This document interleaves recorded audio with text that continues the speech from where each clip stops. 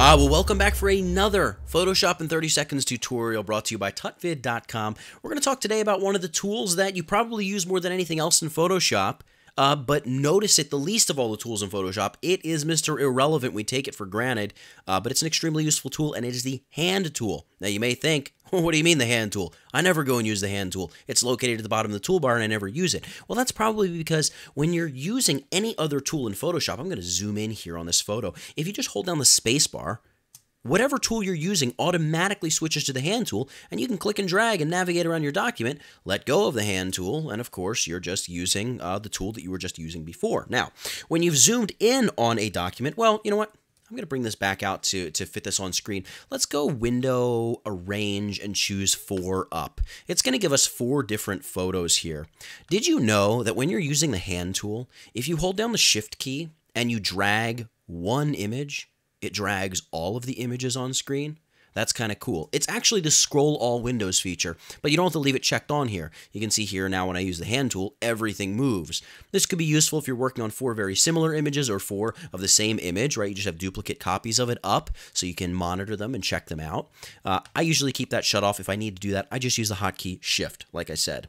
Um, I'm going to go Window, Arrange, and consolidate all these bad boys back into tabs. Now, if you're working, uh, you can see here we have a 100% option, a fit screen option, and a fill screen option. Fill screen does just that. You click it and it fills the entire screen with the image. Doesn't necessarily fit it to the screen, but it makes sure that the entirety of the viewable window in Photoshop, well, all you're going to see is the image. Um, I'm going to just zoom back out. If you hit 100, it zooms to 100, but there's hotkeys for 100 and fit to screen. Uh, command 0 fits uh, fits it to the screen. So you can see we still have some gray, but it's exactly fit top to bottom. If I zoom out a little bit, you can see but it just brings it right in 54.54% for this image. And if I go to another one like this one here and I hit Command 0, you can see 45.21%, uh, so on and so forth. Now, if you hit Command 1, it's going to zoom your image all the way to 100%. So this image is 4,300 pixels by 2,900 pixels. So I'm seeing the full 100% crop of this image. Let's say I want to be able to see the entire image and not necessarily at 100%, Command 0, and it fits the whole thing right into the screen. Now, one last uh, hotkey or one last trick for you. If you double click the hand icon, it's going to fit the image to the screen. If you double click the zoom tool, it's going to zoom it to 100%.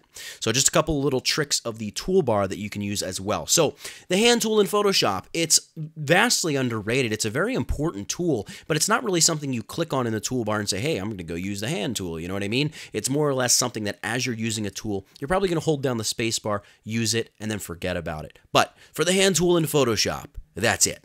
Get it? Got it? Good. Nathaniel Dodson, tutvid.com. I'll catch you in the next one.